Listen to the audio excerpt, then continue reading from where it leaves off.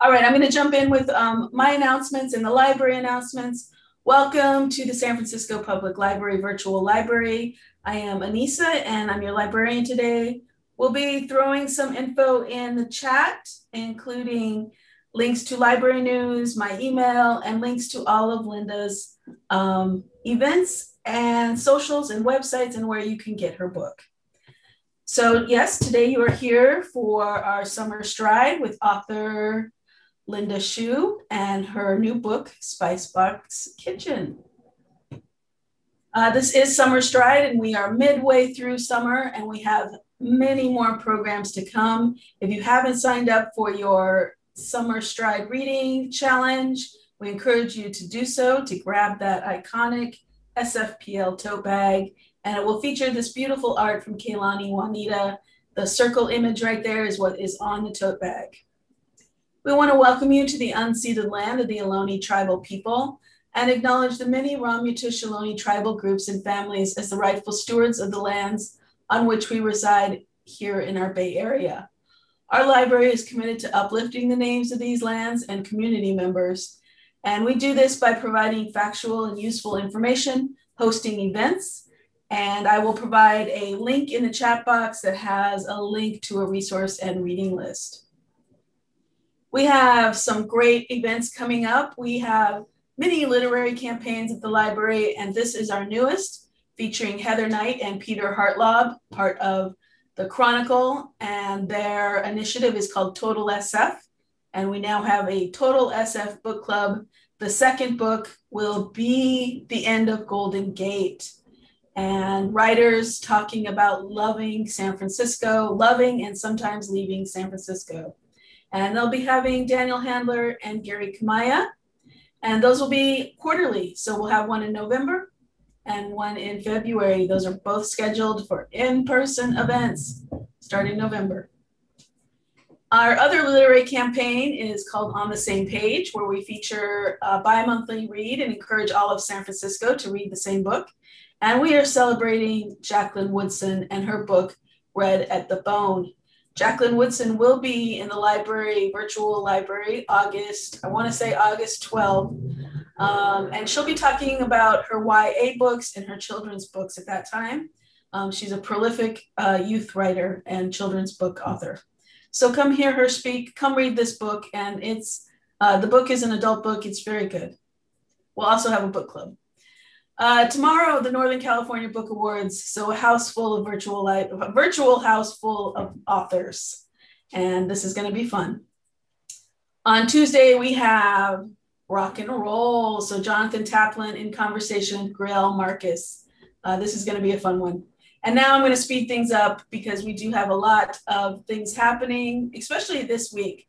Our COVID Command Center artists and residents will be speaking.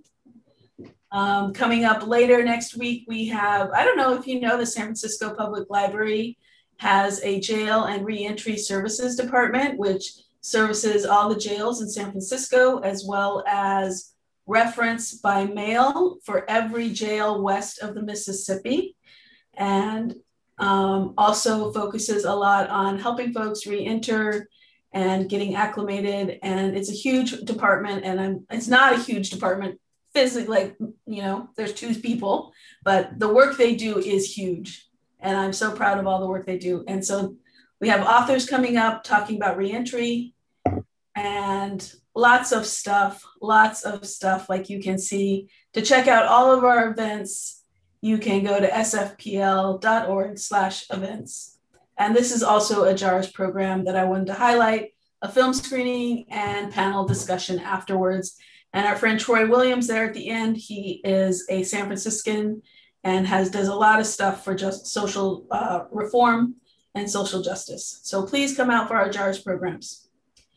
Um, July 31st, herbs and edible gardening. I know you're all gonna love that. all right, so on with today's show. And today we are here to see Linda Shiue and her book, Spicebox Kitchen. Eat well and be healthy with globally inspired vegetable forward recipes. Um, after Linda took her first French cooking class at age seven, it was almost 40 years before she finally went to culinary school at San Francisco's cooking school. In between, she studied anthropology and medicine at Brown with fieldwork in rural Sichuan, China and Singapore. She continued her medical training at the University of California, San Francisco, and learned about plant based nutrition at Cornell University. She is an enthusiastic eater inspires, and inspires strangers to copy her order at restaurants and for chefs to send her a little something special. Uh, we want to be, we all want to be your friend, Linda. um, Linda is a practicing physician in San Francisco, and she also founded a popular vegetable forward teaching kitchen to inspire people to cook for health. And we encourage you all to check out her book from the library, or you can purchase it from Omnivore and get it signed. And we will put all of these links into the box, the chat box. You, we will also have time for Q&A today, which please use the Q&A function. And that is it. Everyone, please welcome Linda Shiue. Thank you so much, Anissa, for that introduction and welcome everybody. I'm so excited that so many of you have decided to spend part of your Saturday morning with me. Um, and so um, I'm also very excited to be doing a library presentation. Public libraries have been part of my life forever. And I was always a very enthusiastic participant in programs like Summer Stride. So um, this is really an exciting event for me. Wish it could be in person, um, but I'm also glad to reach more of you through this virtual forum. Um, so today um, I'll be talking about my somewhat unusual path from being a doctor to becoming a trained chef and writing a cookbook. I'll be talking about what I consider to be healthy cooking and healthy eating, uh, take you for a walk through my cookbook, Spicebox Kitchen, and I'll also be doing a cooking demonstration with one of the recipes from the cookbook, which is called Backpackers Gado Gado. And um, and Alan will be sharing the link for the recipe, which has been excerpted in a recent issue of Eating Well magazine, so that you can all make this recipe um, even before you get the cookbook. Um, so that's the format for today, and um, we'll have plenty of time for questions at the end. So please um, write down your questions as we go, and we'll have a chance to talk about them later. Um, so in addition to the little background that um, Anissa gave uh, to my introduction, um, I'll just sort of summarize that and that I've always been a lover of food and very curious about um, different cuisines and cultures around the world. I grew up on Long Island, New York, in a pretty uh, semi rural area, but it was near a, a national laboratory, uh, which is why my family was there. My parents were research scientists. And uh, the bonus of that was that we would have these potlucks um, periodically with visitors from around the world. So there were visiting scientists. And um, that really, you know, gave me a lot of exposure early on and I think developed my palate and my curiosity. Um, so I just saw something in the chat that people can't see the video. I hope that you can. Um, but um, first I'm going to be reading an excerpt from my introduction, which will tell you a little bit more about how I got to this point of deciding that teaching people how to cook deliciously should be part of my medical practice. So this is a, a brief excerpt that I'll read. Eating well is about food and health, but equally also about celebration and community. There is a world of flavor, and the passport is spices. I connected my lifelong love of food and cooking to my work as a physician 10 years ago when I attended a medical conference that transformed the way I practice medicine um, after a whole decade as a primary care physician. At that time, I was feeling a little burnt out. I knew that I was helping my patients, but I didn't feel that I was making an impact in the way I really wanted. Despite my support and advice, my patients struggled to lose weight, to control their cholesterol and blood pressure and blood sugar, and they were tired, anxious, and depressed. I wrote many prescriptions for cholesterol medications, blood pressure medications, diabetes medications, and for antidepressants and sleep aids. My patients didn't feel better and I felt ineffectual. Then I went to a fateful medical conference called Healthy Kitchens, Healthy Lives, which is co sponsored by the Harvard School of Public Health and the Culinary Institute of America. And this is held in Napa. Uh, we review the latest updates in nutrition science and how this knowledge could help patients. We're also taught to cook incredibly delicious food that was also health supportive by the culinary school's chefs. That was my light bulb moment. My practice changed immediately. Before, at the end of routine physical examinations, I would review my findings with the patient, discuss their weight, blood pressure, and lab results, and make some vague su suggestions for modifying their diet and exercise routines. Typically, it would have ended there. But after my epiphany, with my next patient, I pulled out my prescription pad and wrote a recipe for kale chips. And a week after that conference ended, I taught my first cooking class to patients and I was hooked. I began teaching cooking classes on a regular basis and felt as exhilarated as my students were.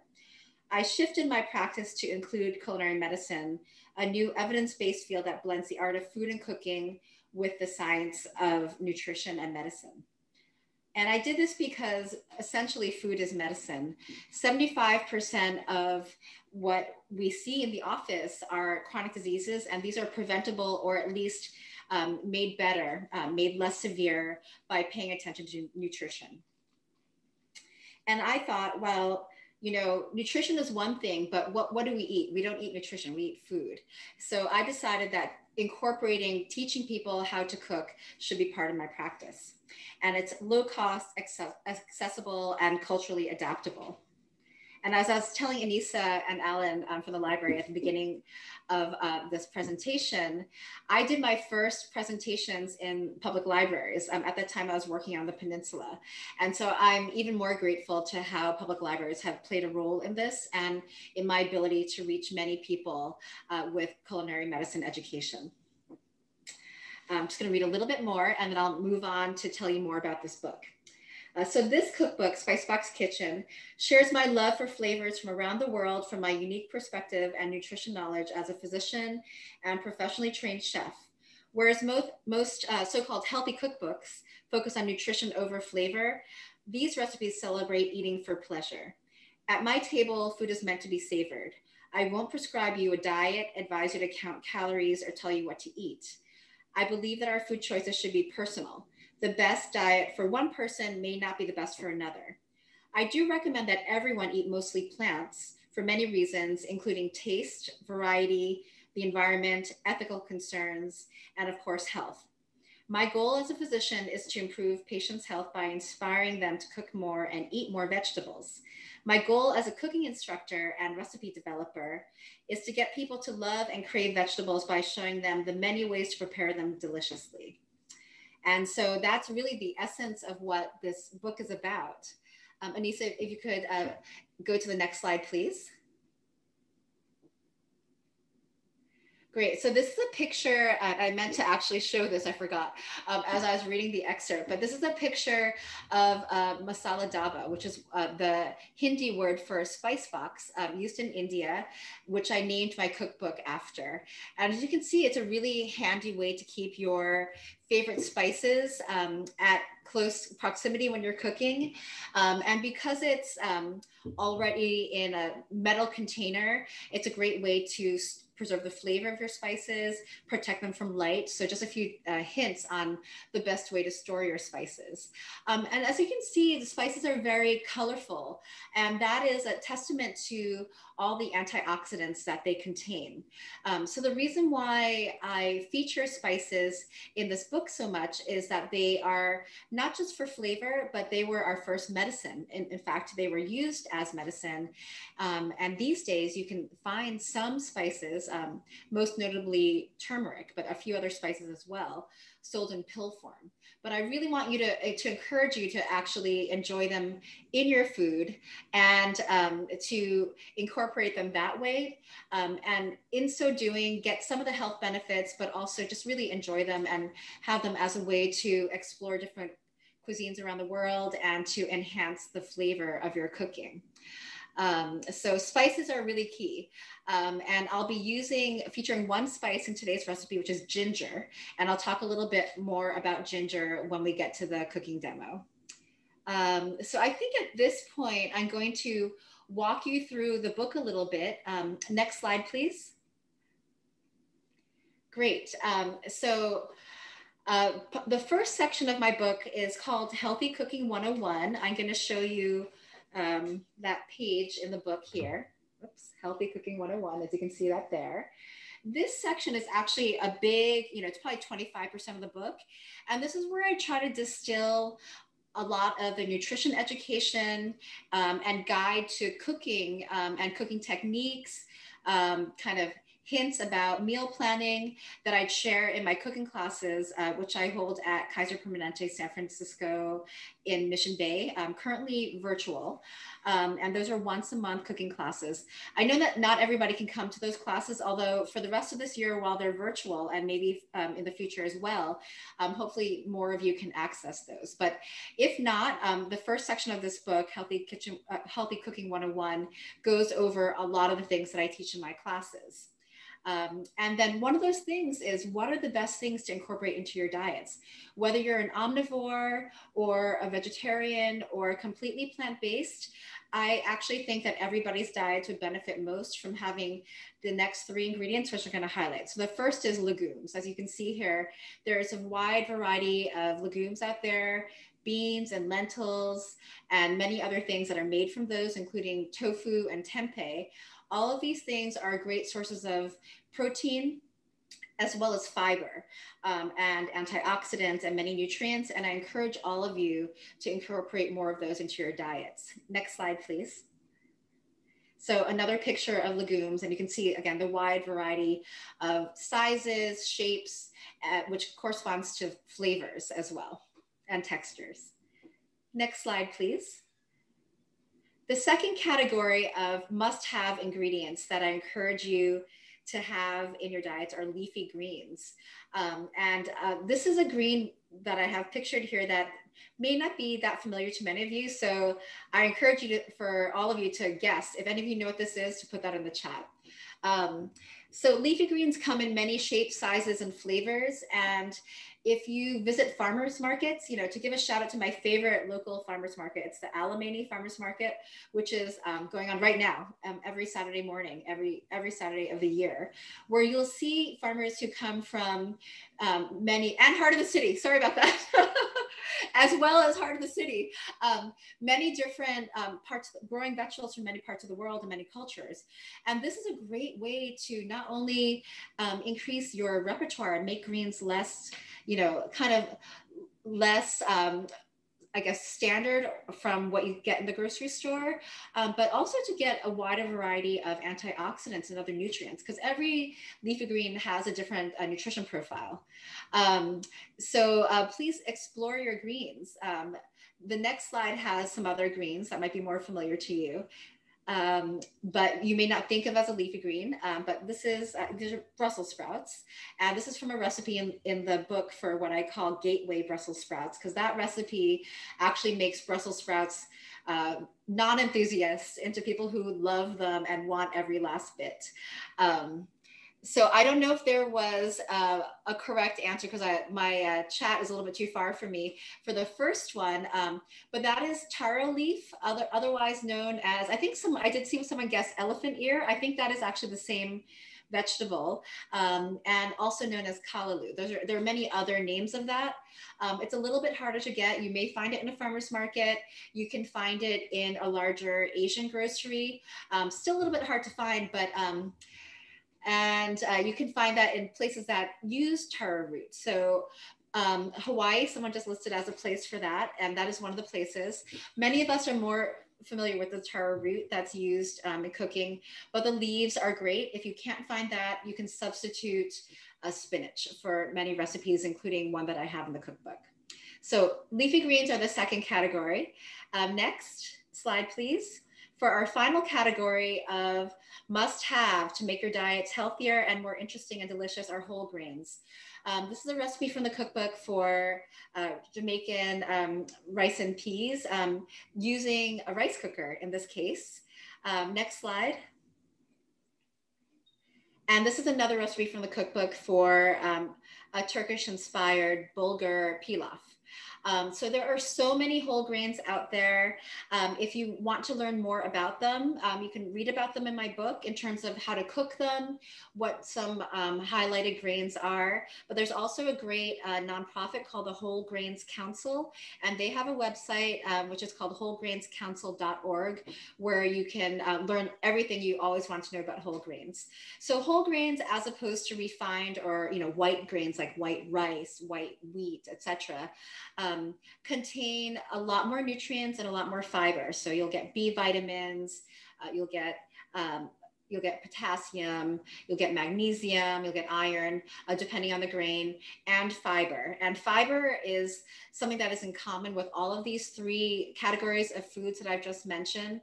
So um, legumes, leafy greens, and whole grains all have fiber. And that is something which uh, most people are actually a little bit deficient in, in their diet. So um, you know, trust me, I'm actually a doctor. um, if you incorporate more of these, regardless of how you eat, you will improve your health. So fiber is not just for your digestion and improving that, but it's also important in preventing chronic diseases. Um, it ends up being anti-inflammatory. And so um, just you can't go wrong by incorporating these three ingredients into your diet. Um, and so now I'm going to take you through what the book showcases in terms of recipes. You know, that's a little bit of the nutrition portion. Um, the the other remaining portions of the book are all just like a regular cookbook recipes. And these come from four parts of the world uh, that I chose because I have a personal connection to all of them. Um, and they also have healthy diets in their kind of original form that incorporate a lot of spices. Next slide, please. Um, oh, I forgot. So this is a picture of the recipe I'm demonstrating. This is the Backpackers Gado Gado, which I chose and made into kind of more colorful form from the original um, because it's a way of showcasing this very important nutrition point of eating the rainbow. So you can see it looks very beautiful. You have all the colors there, um, but also different colors correspond to different nutrients and antioxidants. So you don't even really have to think about um, you know, are you getting all your nutrients if you incorporate as many colors of vegetables and fruits into your diet? Um, and now we'll move into the different sections of the book. Next slide, please. So first, California. So these recipes are inspired by uh, San Francisco, where we are based here, and I've lived for the last 20 plus years. Um, and which is a place which I really think inspired my cooking a lot. Um, so these two recipes in the book um, are from that first section featuring California. The first um, is California oranges with ginger in um, a recipe for oatmeal. It also features pistachios.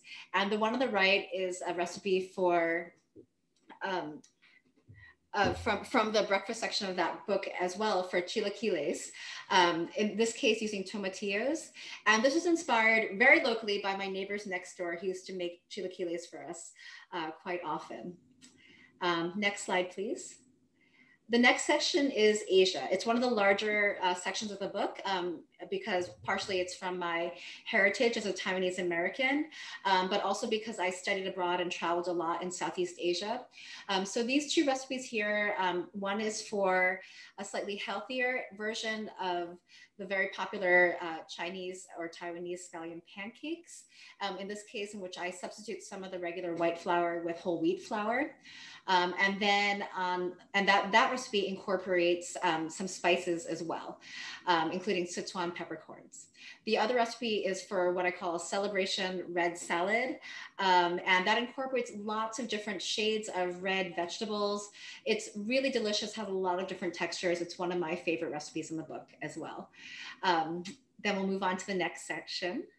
Next section is on the Mediterranean and the Middle East. Um, my connection to this region of the world is um, probably less personal and um, more professional, I should say, than the other regions that I feature. Uh, the Mediterranean diet is one of the best studied diets in the world, or I should say eating patterns um, in the world that has um, you know, a great impact on reducing chronic disease, including heart disease, stroke, certain cancers um, and diabetes. And so it's a really healthy eating pattern for people. Um, the Mediterranean geographically includes the countries of the Middle East, which use a lot of spices. And I was very lucky that during my um, culinary school years, year, uh, six months actually, at San Francisco Cooking School locally, um, I got to do my externship at Mourad, um, which is a modern California Moroccan restaurant um, right here in San Francisco, right near SF MoMA. Um, and so I learned a lot about spices there. And so um, those are the two reasons why I featured the Mediterranean Mediterranean um, spices, um, my connection to learning about it, and just the fact that it's a very healthy diet. And then the final section um, comes from Trinidad, which I know is going to be new to a lot of you here. Um, you know, we don't have that many people from the Caribbean here. Um, I married a man from Trinidad, so that's how I got to learn um, this cuisine um, very intimately, learning how to cook the food that he grew up with. And um, what I did was I took a lot of the Trinidadian recipes, which tend to be pretty meat heavy, and I made them um, either vegetarian or pescatarian, um, which I think, like in many cultures, actually brings our modern diets back to their more original roots. Um, you know, so with all these different cuisines around the world and, and the others that I didn't include in the book, um, a lot of them are, you know, as the, the way people eat them now, are not as healthy because of basically modernization and, you know, the way that we've actually made a lot of food processed. So if you take home no other nutrition message from my talk today than this, try to cook as much as you can at home. That was you know, the other reason why I wrote this book. I think no matter what you cook, where it comes from, what ingredients you use, if you're cooking from scratch, you're automatically going to be improving your diet compared to you know eating out compared to buying processed packaged foods. Um, it's going to be much lower in saturated fat It'll be lower in salt. Um, it'll be lower in added sugar. And certainly you won't be adding preservatives to your own food. So no matter what you cook, uh, try to uh, cook at home, try to cook from whole ingredients as much as possible, meaning things that basically look as close as they can to how they were grown, um, things that don't have many steps in the in the processing before they get to you. Um, and that will be kind of the best way to improve your diets. Um, so um, this brings us to the kind of the fun part, which if we could be in person, uh, you know, would be even more fun because you could, you could hear, smell, and taste what I'm going to demonstrate to you. Um, but we'll make do with what we have. And um, with the recipe that I've included in the chat for this backpackers gado gado, you can recreate this at home. Um, so I'm gonna spend about the next 10 to 15 minutes going over these ingredients, which I pre-prepped for this so that we would have time to go over it um, and talk about some of the nutrition benefits of those. Um, and then you can make it later at home. So um, I'm just gonna read just one more bit of, about, the, or tell you a little bit more about this recipe. It's called Backpackers Gado Gado because uh, when I studied abroad in Singapore, many, many years ago uh, when I was in college. Um, I spent some time backpacking because that was my budget around Southeast Asia. And um, one of the favorite places that I went to was Indonesia. Um, and that's where gado gado is from. It's basically a, a salad. Um, typically, it doesn't have all these colorful ingredients. Um, and as I mentioned before, I wanted to demonstrate eating the rainbow. Um, it's basically a salad that is dressed with a coconut and peanut based dressing. And um, it's just like one of my favorite things there. Just very simple taught me different things about texture and flavor and kind of the key elements that make um, a dish kind of more interesting delicious and fun to eat. And so um, it, it's combined of different raw and cooked vegetables. And in my recipe, I uh, wrote it actually the version in the cookbook, which is different from the one that I shared with Eating Well, um, because they wanted actually a formal recipe with measurements. Um, in the cookbook, I kind of say, you know, use what you have. And i think that's another good hint to use what you have in your pantry what you what you like. It's a way of reducing food waste um, and mixing and matching so that you don't feel that cooking is this hard thing that you have to make it perfect. This is a way that you can just kind of throw together what you have with a few key elements. Um, and that using some cooked and some raw vegetables is a way of uh, kind of maximizing nutrition and also making um, the flavor and texture uh, more interesting. And I wanted to be able to talk about different cooking techniques for vegetables with you today. So I'll show you what we're going to put together. Um, and as you can see here, I have all all arrayed kind of in the Roy G. Biv of the rainbow. So we have some tomato here, this is raw. Um, so uh, for the, our red color here, uh, tomatoes are a great source of uh, lycopene. And actually, you'll get more lycopene, which is a heart healthy antioxidant, if you have cooked tomatoes. But you, there is also lycopene when you have them raw, in raw form. And um, I don't think the cooked tomatoes would be uh, great in this salad recipe. Um, so we have our tomatoes. We have carrots, which I julienned. And there's a section in the cookbook on how to julienne, um, actually on knife skills in general. And so, um, you know, it's just a really nice way to have pretty looking carrots um, that are easy to chew um, and they, they look festive. Um, so carrots contain beta carotene, that's the antioxidant that um, are named after carrots actually, and also our source of vitamin A, good for your eyesight.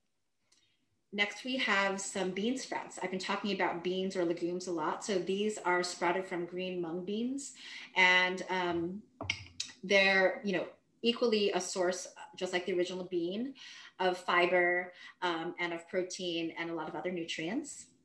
I have, an, um, so this row is all raw, um, some shredded green cabbage. So cabbage as a cruciferous vegetable is a great source of antioxidants and a lot of, um, you know, uh, plant phytonutrients or plant nutrients, um, as well as fiber and a lot of vitamins and minerals, um, vitamin K, which is important for blood clotting, um, B vitamins, which is important for your brain health, um, for your mood, also for heart health, and many, many others.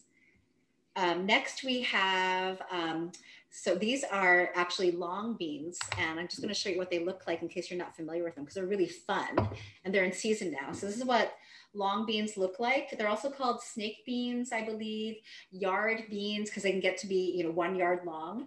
Um, and you know, they come in this light shade, which I have here. They come also in a darker green. Um, you can definitely get these in any uh, supermarket that sells uh, Asian groceries. You can definitely get them at any farmer's market. And they're really fun. Um, I just love the shape of them and how they're kind of bouncy like this. Um, and what I did with these is that I blanched them. So I want to talk about blanching as a way of cooking vegetables to maintain some texture and also their green color. Blanching just involves boiling a large quantity of water, a large volume of water, and to add salt to it. So you get a little bit of salt as it's cooking. And then you just cook it for really just a few minutes until it's just a little bit wilted, but still has some of its crunch. And then you take it out immediately and either run it under a cold running water until it's completely cool, or put it into an ice bath, which is basically half water and half ice. And that will stop the cooking process and maintain again the cooking texture that you've left it at, as well as the color. Um, so these are the same beans here. They actually look a little bit darker. You can see here after I've blanched them. Um, we have some cucumbers. These are raw. Cucumbers, um, just kind of a fun, fun nutrition fact with cucumbers uh, is that they contain silica, which is a mineral that we uh, don't get from many other parts of our diet, and that's good for your hair, skin, and nails. So it's actually a common thing that people come in to see me for is about you know not being happy with the texture or um, health of their hair, skin, and nails. Cucumbers would be a good thing for that as well. And then uh, the final vegetable ingredient of this recipe is red cabbage. So I'm going to show you both the raw form where it looks a little bit more red and what it looks like after steaming where it looks purple, which is kind of fun too. So the purple or red in any vegetable that you see comes from an antioxidant called anthocyanins. Um, and, you know, I've been talking a lot about antioxidants. What are they for? These are all the things that actually, you know, as the anti, combat oxidation, which is basically the stress on our bodies and our on our health that comes from multiple things in our diets. It can come from eating fried foods, it can come from eating processed foods, it can come from eating animal-based products, um, it can come from stress in our lives. So these are all stresses on our bodies that antioxidants can help combat. And over the long term, antioxidants can help prevent chronic diseases. And so that's why it's important to, to have all these things. Antioxidants are not contained at all in animal products. They're only found in plants. So, um, so at any rate, anthocyanins are the antioxidants in red and purple colored vegetables.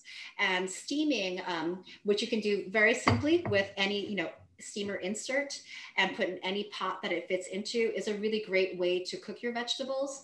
People often ask me, what is the best way to eat vegetables? Is it raw? Is it cooked? Um, and you know, the answer is a little bit of both. Like, you know, as I mentioned, uh, cooking can enhance the absorption of some nutrients like the lycopene from tomatoes, um, but it can also um, kill off some of the nutrition. Uh, vitamin C, for example, is one vitamin that is uh, quickly destroyed by heat. And so you want a little bit of both. Eat your salads, eat your cooked vegetables. If you cook your vegetables, um, the tips are to cook them for as brief a point, uh, brief a time as possible. And that's why blanching and steaming are two good ways and um, with as little uh, water as possible, unless you're having it in a soup, in which case all of it remains in your soup. Um, so these are the vegetable ingredients that will go into our gado gado. Um, and so I'm just gonna assemble it now and then um, show you how to make the dressing for it. So I'm going to move this to a platter. Excuse me as my head is cut off as I'm trying to move things around here for you. Um, I know what I'll do here. Let me move the tray instead. And I'm gonna plate these ingredients on this platter here and show you the two proteins that I'm including on this salad. So this is a salad that can be eaten as, uh, you know, simply a starter, or you can have it um, as, if you add some protein, as a light lunch, which is why I chose it for today. So um, forgive me again, I'm gonna cut off my head a little bit so you can see the platter more directly, and then I'll, I'll come back and talk to you. Um, so we have our shredded green cabbage, we have our blanched long beans here, and you can certainly substitute regular string beans too. That would be fine. Um, I'm gonna add here our julienne raw carrots. Our bean sprouts. Cucumbers.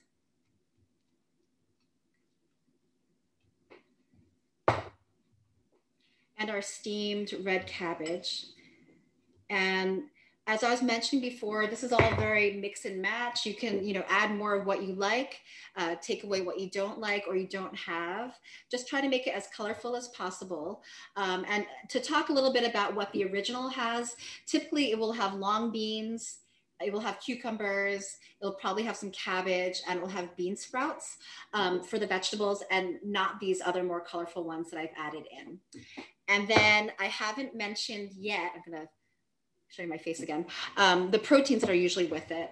Um, so usually there is hard boiled egg. So I'm gonna include that here. Um, and I think you can't see that, but you will in a second. If you do not eat eggs, you can omit that and use more of the other protein, which we use a lot in this, which is tempeh. So tempeh, I find that people don't know as well as tofu. It's also made from soybeans, but it's made from whole soybeans, which are fermented and formed into these solid blocks or cakes. You can, um, you know, it, it's sold in grocery stores now. Um, you can make your own. I haven't made my own yet, but I, I'm planning to try. And you can either eat it as is, or you can do what I did, which is to toast it in a dry frying pan, so no oil, and just keep it overheat for a few minutes on each side until it's a little bit browned and crispy. I like I like that texture. Um, so tempeh is very traditional. It comes from Indonesia, um, and so I'm going to include that here as well. And so as I mentioned, um, tempeh is a great substitution if you're not using. I'm just going to actually hold it up for you. If you're not using um, the eggs and want some more protein, tofu would also be great in this if you don't have access to tempeh or, or don't like it, but I encourage you to try it. It has a really nice nutty taste. Um, so that's what the salad looks like, and but it's not complete without a few garnishes and without the dressing. So that's the next thing that I'm going to show you. Give me one second to get some of the stuff out of the way so I have room to show you the dressing.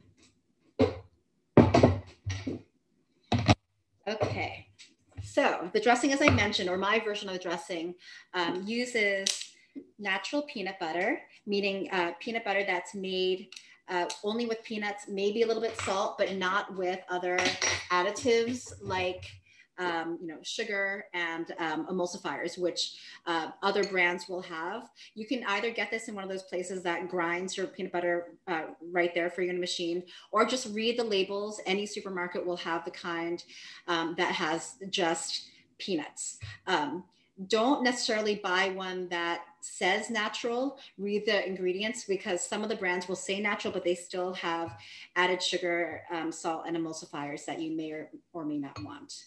Um, so we're gonna put about equal amounts of peanut butter. You can use crunchy or smooth, depending on what you like and what you have.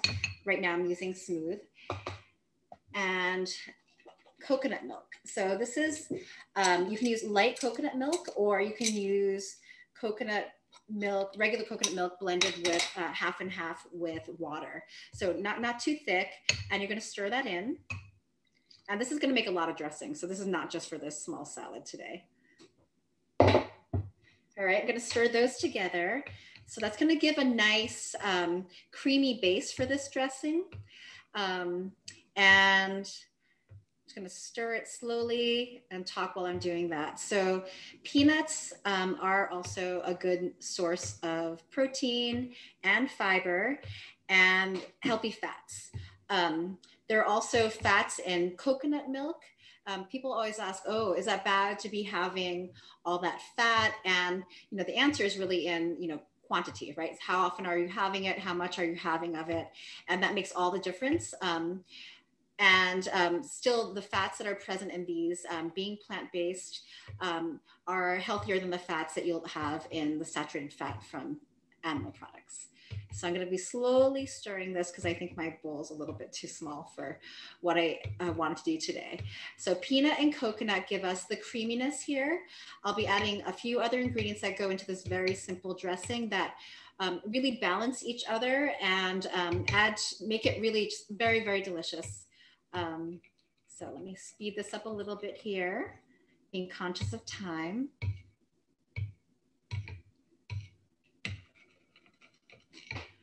Okay, so that's almost all incorporated.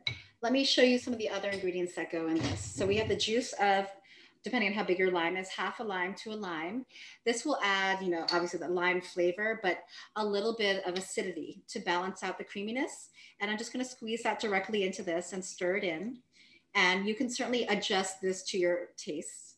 So there's some lime juice added to our peanut butter and coconut milk. And then I'm adding some low sodium soy sauce um, so in my classes and in my cooking, I use low sodium soy sauce because um, soy sauce is one of the condiments with very, very high sodium content, whereas lower sodium versions um, have, you know, about half of that amount, um, still very high sodium. So the quantity is important. And then I'm adding a tiny bit of sugar, which is again, just to balance out these flavors here. It's optional. You can use other sweeteners if you want. You can leave it out entirely. And so, you know, we're gonna adjust that to taste. So I'm gonna stir that in. And then I'm gonna show you our final ingredient, which I'd like to put in this dressing, um, which is some freshly grated ginger. So um, looking at the time, I'm gonna try to do this quickly so I can finish this up, but I wanna show you a technique in peeling ginger that I first learned when I was like seven watching Yan Can Cook from our local friend, Mar Chef Martin Yan, um, which is to peel ginger with a spoon. Any old spoon will do.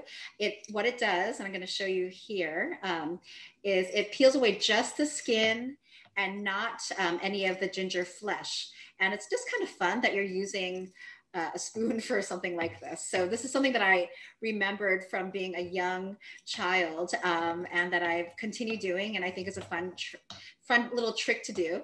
And, you know, it's very safe because there's no blade for a child to do. So one of the tips for people who have children in the house um, about getting them to eat more adventurously is get them involved, get their hands involved in the food, get them involved in the shopping, bring them to the farmer's market.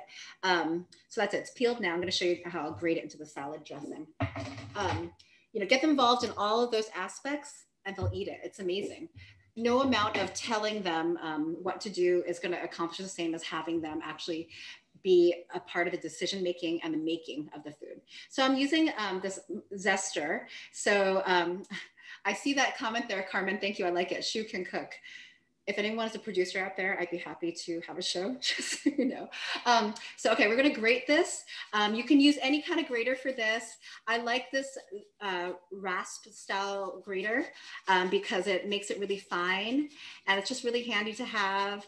And um, you can just basically keep grating away and then just kind of wrap it along the side of your bowl and stir it in. So just to go over those ingredients again and in real life, we will taste this before I dress it. But peanut butter, light coconut milk, um, a little bit of low sodium soy sauce, um, a little bit of lime juice, a little bit of sugar, optional, um, and then um, some freshly grated ginger. And so all of that together, um, you know, really gives you this kind of simple and yet complex tasting dressing. And that's kind of the key of all my recipes, simple to put together um, inexpensive because plants are less expensive than meat and um, very um, easy to put together. So I'm gonna tilt down a little bit and dress this. Um, so you can either dip or you can drizzle. So I'm just gonna drizzle this over here and then add a few garnishes. Okay, so there's that. Garnishes. Um, traditionally, um, shrimp chips are used as a garnish. So one, besides eating, let me show you my face again. Uh, eating the rainbow for nutrition. Um, I always say think about presentation, which is also very easy to do when you're using colorful foods. Think about texture. Um, you know, a lot of the health food that um, I saw when I was growing up in the 70s and 80s was kind of bland looking and kind of all pureed and mushy and not very appetizing. So you want crispness, you want crunch. You've got all different textures here because some things are cooked and some things are raw. And you definitely get that crunch of the shrimp chips. Um, and the final garnish I'm gonna use is some fried shallots or onions. You can get these, I'm just showing the package, in Asian groceries, or you can make your own from um, shallots that you'll slice. And I'm just gonna add these. They add that nice, you know, intensely shalloty, oniony flavor and a little bit more crunch here. Um, and so for the things which, you know, I, this may look different and you're having some fried things here from a lot of people's conceptions of healthy food. Um, but I think you'll notice that it's a very, very small proportion of the overall dish. And th this is really the key. Um, it's as long as in my opinion, as long as you're eating the right things, uh, the healthiest that you can most of the time, um, you can have those, those, little treats, whatever it makes your diet something that you enjoy, so that you will eat all these other healthy foods. If it takes a little bit of shrimp chips, if it takes a little bit, and you can substitute rice chips for a vegetarian version, uh, rice crackers, I should say. Um, if it takes a little bit of fried shallots um, to really enhance it, um, then I say go for that. So here's our gado gado, backpackers gado gado. Um, and I think that gives us a few minutes for questions. So um, Anissa and or Alan, if you want to read out some of the questions in the chat, I'm happy to answer them. And yes, and then this is where you can follow me on social media. And um, just to let you know, locally, our beloved uh, culinary bookstore, Omnivore Books in Noe Valley, has signed copies. I'm also doing an in person event, my first in person event for this, um, August 21st, which is another Saturday. So I'd love to see you there. Um, but you can also get books there. It's also available, of course, at the library and kind of, uh, as they say, anywhere books are sold. Um, so, yes, thank you all for coming. Okay, we have lots of questions. Okay. Um, let's start with uh, how about what non animal protein sources would you recommend for older adult nutrition? Could you suggest some recipes for meals on wheels to adopt more vegetable forward entrees? Ah, interesting. Ah, I love Meals on Wheels. Um, and um, if if someone from Meals on Wheels wants to talk to me about that, I'm happy to share my ideas. So, um, you know, in terms of plant-based nutrition, first of all, plants have a lot of nutrition themselves. So you will like broccoli and potatoes. Those are two very common um, vegetables. Both have a lot of protein.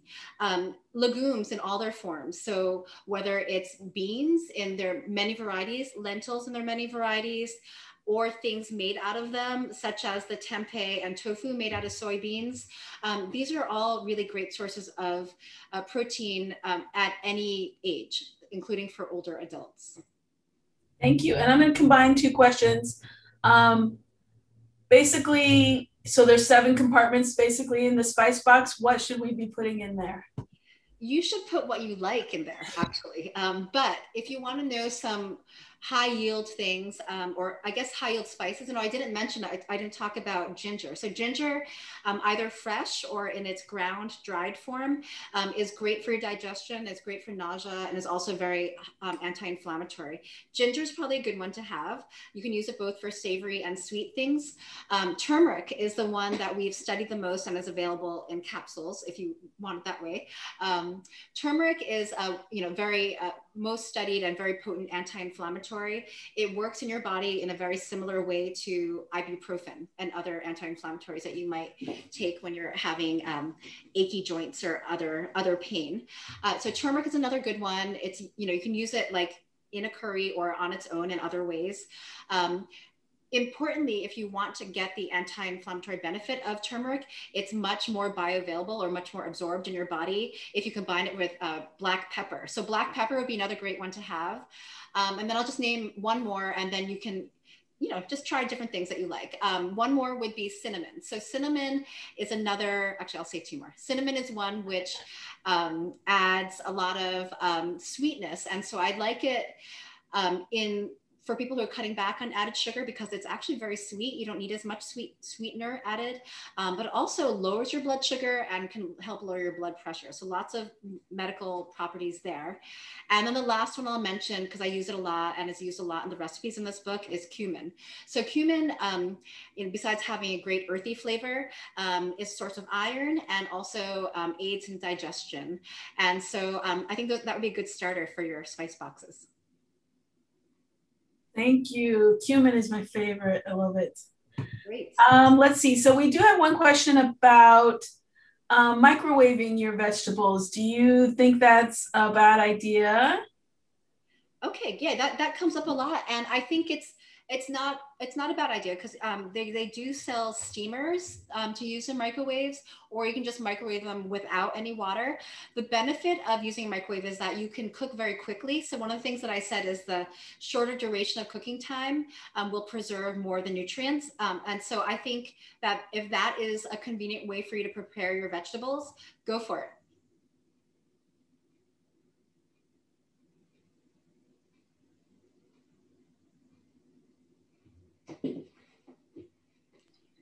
Perfect. Um, I think we have another question about um, substituting uh, peanut allergy for having a peanut allergy. What can we substitute for the sauce? I would use, um, as long as you can have seeds, um, which most people who have peanut allergies can have, use sun butter for this. It'll taste slightly different, but um, it's pretty much the same um, idea and consistency. So sunflower, sunflower seed butter would be great in this. Perfect. Um, what about the difference in taste between long beans and string beans for the recipe? Almost the same, actually. I, I really think that you can substitute substitute them equally, um, but I just think it's fun to introduce people to vegetables they may not be familiar with, and I love the way the the long beans look. But you could totally use any string beans.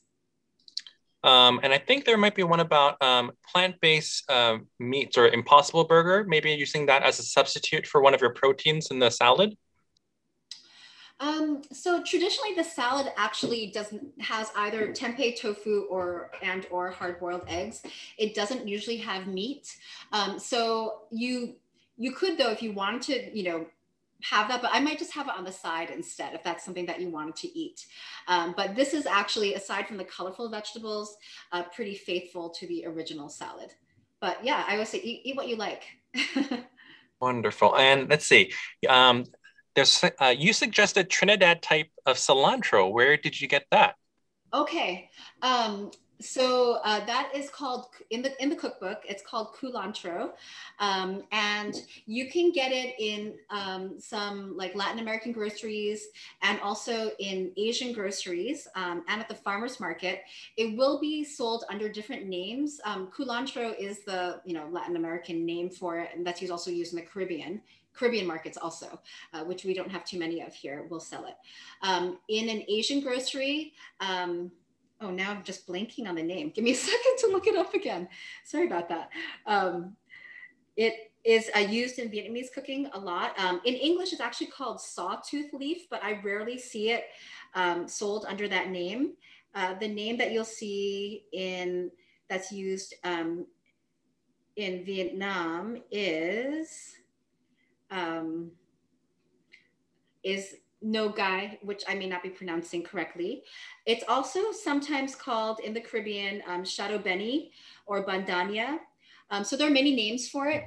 Um, so I think you will have to probably go to one of these more specialized markets. So either um, a Latin American market, Asian market, or Caribbean market, or uh, to one of the herb vendors in the farmers markets. You can get them there. If you can't get it, um, you can substitute regular cilantro. It, it doesn't taste exactly the same, but it would be fine. Wonderful. Um, I think there might be one question also about the sauce. Um, how, what about think substituting the fresh ginger for powdered ginger? Yeah, you can do that. If um, you know fresh ginger is something that you don't normally you know eat enough of to keep around in your refrigerator, powder would be fine. I would just start with a little, you know. So when something is uh, dried and then powdered, it's, it's going to be a little bit more potent. Um, and then add it to taste. You know, some people love the taste of ginger. I do. Some people don't like it as much. I definitely would include some ginger in it, but you know, adjust it accordingly to how you how ginger you like things. But ground would be fine. Perfect. I think we're going to take one last question. I see there's one about uh, sprouted tofu, tempeh, and whole edamame beans. Which one might be nutrient dense for this recipe? Um, all of them would be actually. So the sprouting, um, you know, enhances the nutrition and and eases the digestion of any of these. Um, but they would all be great actually. Yeah, so edamame would be a nice addition to this. Not traditional, but again, it, it doesn't have to be. Um, really, so any of those plant-based proteins would be fine in this. Um, but, and again, something from the soybean family is more traditional, typically with tempeh as the most common one. Perfect. Let me see. I'm just looking at the chat really quick. Um, let's see. Dun, dun, dun. I think that might be the majority of the questions. Great. Um, and then let's let's hold on one second. I'm sorry, I did accidentally move one to answered that wasn't, which is, um, do you have any suggestions for those who can't tolerate high fiber foods like beans but want to eat healthy? So that that question so with beans there are it may or may not be the fiber for some people it's the fiber. Um, for others it actually might just be um, you know a cooking technique which I, I go over in the book about making beans more digestible and breaking down some of the starches. It's actually a particular starch. Um, so taking a note from um, you know using herbs and spices for that um, uh, you if you cook with uh, certain herbs and spices that will reduce the gassiness and that might help you digest might digest them. Um, examples of those, um, and I just actually want to open to that section. I know we're running out of time from the book where I list those because I think that's going to be helpful to many of you. Um, give me one second here.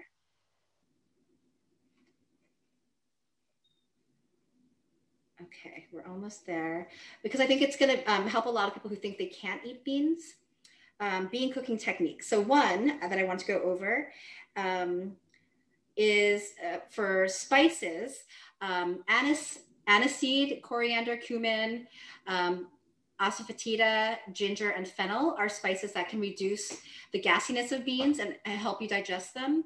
For herbs, epazote, which is sold in Latin American markets as a fresh or dried herb, a little bit of that can help um, with digesting beans.